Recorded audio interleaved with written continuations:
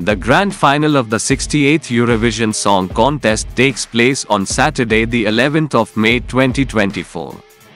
BBC Studios will once again produce the BBC's coverage of the biggest and most watched song competition in the world following the 67th Eurovision Song Contest which was hosted by the BBC in Liverpool, on behalf of Ukraine in May 2023. Following Loreen's victory in Liverpool with the song Tattoo, the 68th edition of the contest is taking place in Sweden, with the grand final broadcast live from Malmo Arena. This is the seventh time Sweden hosts the contest with a Hollywood star and an iconic Eurovision veteran overseeing proceedings, Malin Åkerman and Petra Mede.